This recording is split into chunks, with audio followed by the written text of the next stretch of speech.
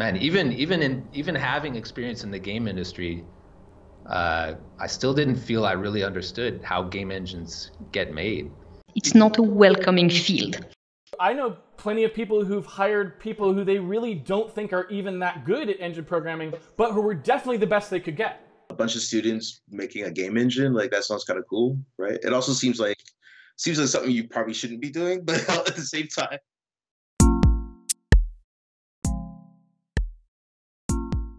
I'm a student at Carnegie Mellon's Entertainment Technology Center, where students form teams to create deliverable products in a semester. I got assigned to a pre established team of students.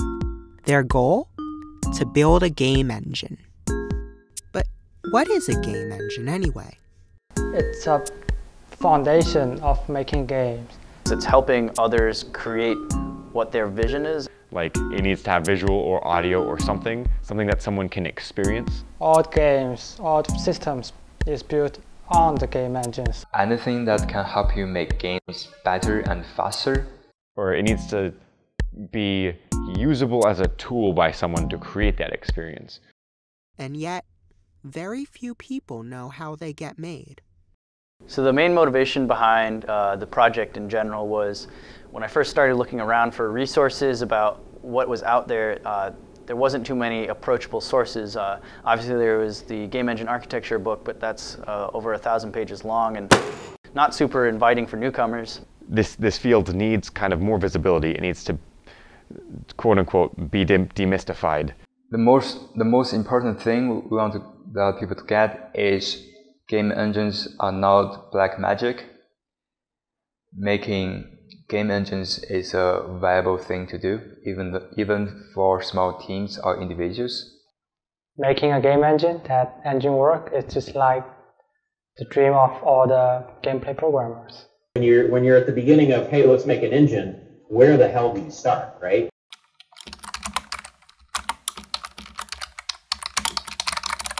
we need to be prepared for this to be able to, to even do a project like a game engine within three months. We were, we were aware of how long game engines usually take. They almost always take more than two years. Sometimes they can take up to like five to seven. There was a lot of unknowns and everyone was very uncertain about what we can accomplish. Game engine is kind of, it's massive, it's kind of vague, so the challenge is like we don't know what we are doing. We have no clue what an engine, actual engine looks like, uh, other than kind of through reading and using them. The team used a map to guide their way. Basically, we took the idea of an engine and broke it out into little blocks of what are, what are these singular pieces of the engine that we need to develop. Um, and then we kind of started layering things almost like a cake or a building, where it's everything on layer zero uh, depends on layer one, almost a dependency chart.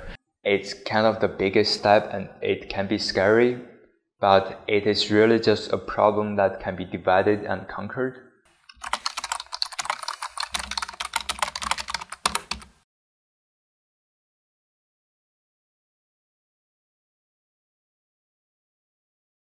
While I'm programming it out, I'm usually thinking, okay, how is this how is this solution going to break? How how am what I'm doing? What what could I be doing better? Um, so it, it's kind of like a when you it's like when you when you're talking, you're kind of thinking of the next few words, and that's kind of what it is like for me when programming. It's you're really thinking of what am I going to do next? What am I doing wrong now? Programming, you can you can do your work. You can have that result after like days of work on that, and it finally turns out it's good, and that that that's very satisfying. You know, and this team was a good team from the start. You could see that right off the bat.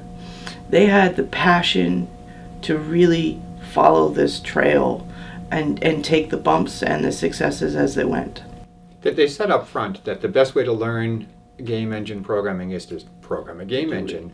And by going through that journey, they're coming up with some really good stories some of which they're sharing in their blogs, but those same stories will open doors for them as they go off and they, they interview for positions in this space.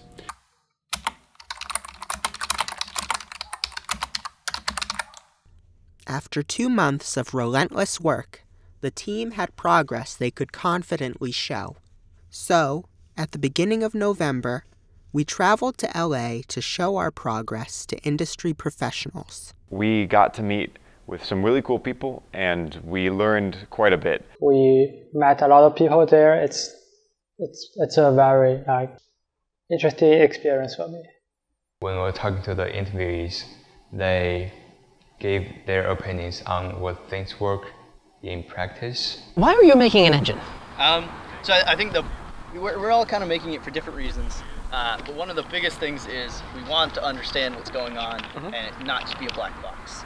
What I found out was like they, they went through some of these similar pl- problems that the team is going through now, and they uh, also a lot of them acknowledge like they don't know everything, and that, that was a really like humbling experience for me, um, and really exciting because it's it shows that they didn't just wake up one day and know how to make game engines.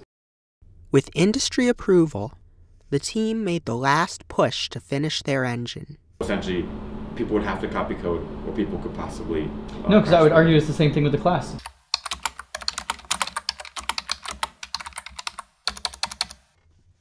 Complete the process of building an engine by the end of the semester, the team regularly deliberated on what they could and couldn't accomplish. Definitely, it's hard. So like different programmer has had different like, opinions about how the code should should like should be like. But working with different programmers is like it's very inspiring and also it's very efficient. No, the end of the Prussian is this. No, it's not. Zero F blah blah blah blah. This is That's the end. This no. is- No, but uh, Chachi, it's right before the CD. No, I, I know I know what's the what's the structure of a string. There were times where one teammate made some changes and some other teammate made some other changes in some irrelevant files and we when we were, when we were trying to merge them together git is just complaining that there's merge conflict but there should never be merge conflict That's what the error is.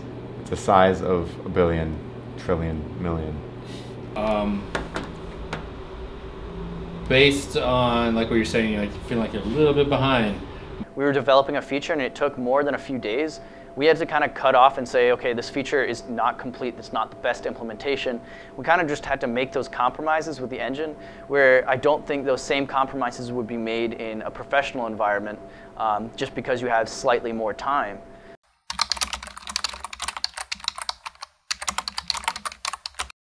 From their talks with the professionals, the team had learned the most efficient way to iterate on your engine is by creating small mini games showcasing the engine's different features. So yeah, this is this is where we're at. So each week we put out our engine architecture again, but with checkboxes and progress marks and just pure. This is what we're doing and kind of the changes we're making. It it does my heart good to see you guys doing this this kind of coding. I mean, because this Yeah. is an obvious showstopper. To show that their engine could be used by any developer, the team held a game jam, a full day game making event with other ETC students.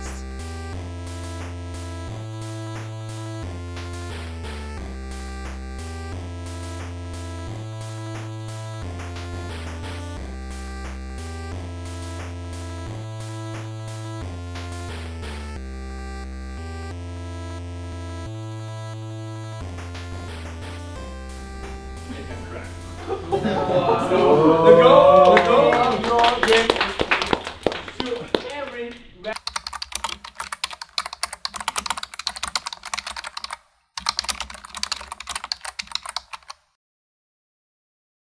just feel like we are a very lucky and strong team that we were able to solve all of the problems together. Okay, if you just keep pushing at something and pushing and working with people who also are trying to get there and trying to understand, uh, you, you will eventually understand the topic that you're trying to do. I I just want to thank you all on this project. It's very good. It's really a good, satisfying semester. and they are just in line with many other pioneers from the past who are doing just that, leaving a footprint for others to follow.